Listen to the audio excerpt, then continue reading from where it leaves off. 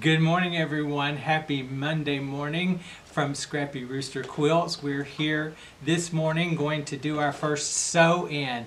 Listen, I'm recording this because I'll need to upload it to uh, our YouTube channel once we finish. So I am recording this. I'll go live on Facebook in a minute and explain where you can go to get the video on YouTube and you can watch it as often as you want. Even if we just post it on our Facebook site, you can watch it our videos over and over. But today, I hope everybody's doing well. You've had a good weekend and you're, you're making it through your quarantine.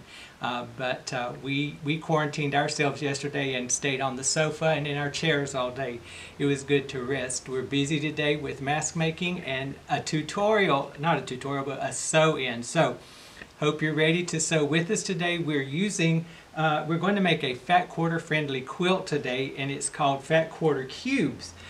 It is simple to sew together. I chose it because it's simple and uh, Miss Rhonda has a lot of new folks in her beginning quilters class so uh, I want to choose something that you could do. Now the pattern calls for 18 fat quarters. I'm going to make a smaller quilt so I only chose 9 fat quarters. Uh, and uh, I'll explain the breakup for cutting in just a second. But the finished size of this quilt is 66 and a half by 70, oh, I'm sorry, 87 and a half. So it's a, it's a large quilt, almost a twin size, but I'm going to make a smaller size and give it to one of our nieces in the future. So let's get started. Now you can also make this quilt scrappy. I'll try to explain that as we go along too. Rhonda's going to uh, focus on the table for just a second and I'm going to show you the uh, my fat quarters. Now, I chose Fairy Frost because uh, it's spring. Uh, we see lots of flowers. The azaleas at home have been beautiful. So I chose Fairy Frost and I pulled just a selection of Fairy Frost fabrics that we'll use for our fat quarter cube quilt. I divided those into two sections because you're going to need to cut differently. So on your first so I divided mine into um, six and three uh, so that I could make mine work. You, if you make the full quilt, you'll have a set of six fat quarters and a set of 12. So once you decide on your fat quarters and decide how much you want, how big you want your quilt to be, then uh, divide your fat quarters accordingly. Because I'm only using nine fat quarters, I pulled out three that i am going to do my first set of cuts from and six that I'm going to do my second set of cut, cuts from. Now I've started some cutting and I have some more to cut. I'll show you that in just a moment. In your set of three fat quarters, first of all square up your fat quarters, then you're going to cut these into six and a half inch strips. From each strip you're going to cut two six and a half by 12 and a half, and two six and a half squares. So you're going to need one, I'm sorry, two from each fat quarter, six and a half by 12 and a half, and two six and a half inch square. Just lay those aside for now, and once all those are cut, that's from your three fat quarter stash or your um, six fat quarter, whichever size you're making. Now for your six fat quarters, uh, my six, your 12, whichever you're going to do, you're going to cut it a little differently. So you're going to cut those two six inch strips, but you're only going to cut one six by 12 inch strip from each one, and you're going to cut three,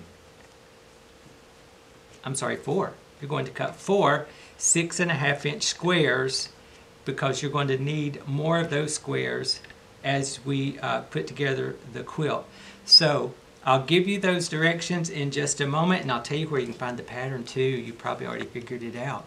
All right, so I've, I've gotten started. I can actually sew one block for you, but I'm gonna put these aside just a second and I'm gonna pull up another fat quarter that uh, I, so I can show you how to cut it. I'll use this hot pink. And I'm going to show you how I square up my fat quarters. So, my fat quarters are, if I hold it like this, you see the twist in it? So I hold my fat quarters until they hang straight. Once it hangs straight, I lay it on my board and I square up that one side. Because you want to be sure you're getting everything out of your cut. So I square up one side. And because I'm a right hand person, I usually flip those. But what I've been doing this morning is using my two ruler step. I want a six inch, sorry, six and a half inch strip. So I lay this here on my six and a half inch. I butt my other ruler up against it and I'm still checking for square and then I make that cut. I'm to make that cut again because I know this cutter has a notch in it. So there's my one six and a half inch strip. Now I'm going to cut that second six and a half inch strip.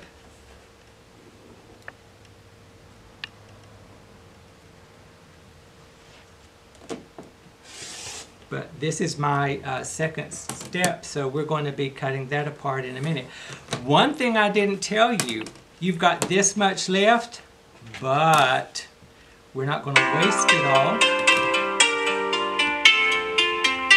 Just ignore it. You hear my phone ringing, but we're ignoring it because we're busy. We're working. So I'm, I'm going to cut a two and a half inch strip from that. There. I'm going to put it aside. Out of every fat quarter, you're going to cut that one two and a half inch strip, and that's going to be your um, binding. That's going to be your binding. Now, I'm still on my second set of fat quarters, so I'm going to cut these differently. If I were using my smaller stash, my smaller, smaller set of fat quarters, I would um, cut two six and a half by 12 and a half and two um, six and a half. But because I'm cutting differently, I'm going to do my 12 and a half.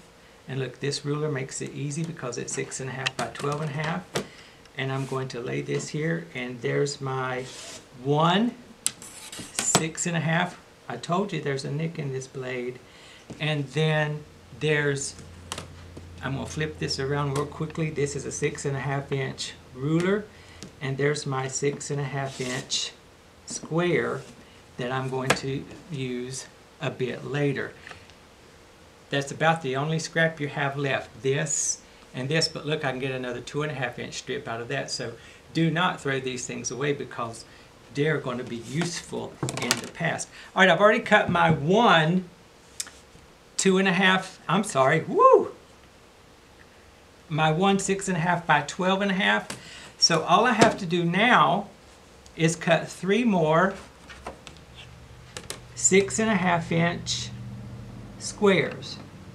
So I'm cutting. There's that one notch.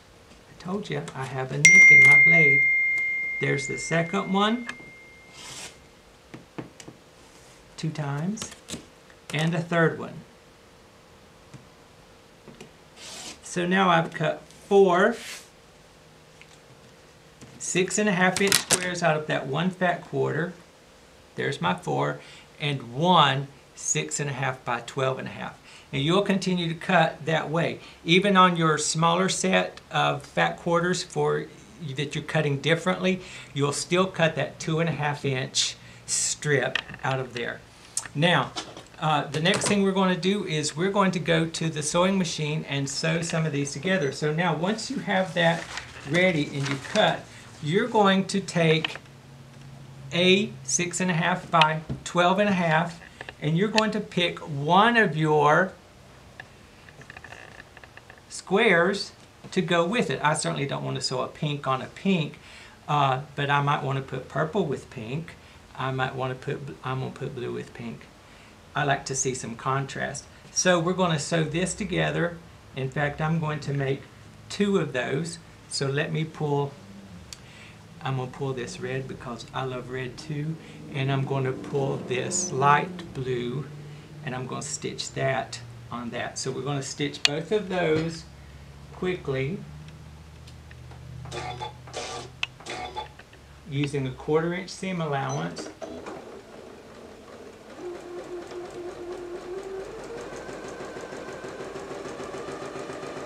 I'm not a fast stitcher, I'd rather stitch slowly and not make mistakes than to stitch like a madman and make mistakes. But uh, for the purposes of TV, I've always wanted to say that. I'm going to stitch quicker. So now once I get these stitched together, I'm going to press my seams to the large to the large rectangle. I'm gonna step right over here and I'm gonna press to the large triangle.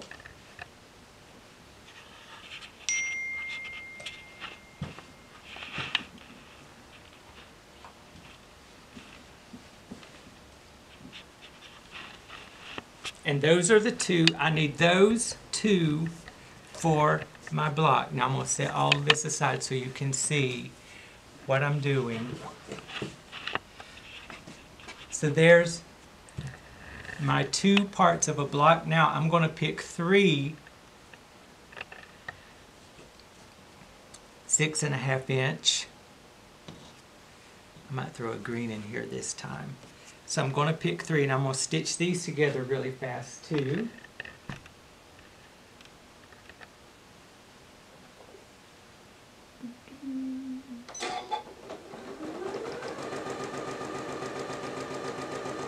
And when I get those stitched together, I'm going to press away from the center block.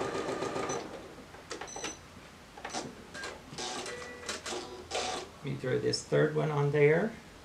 Since it's a little darker, I'm going to put it on the other end of the blue. Because that blue's a little lighter and these are a little darker.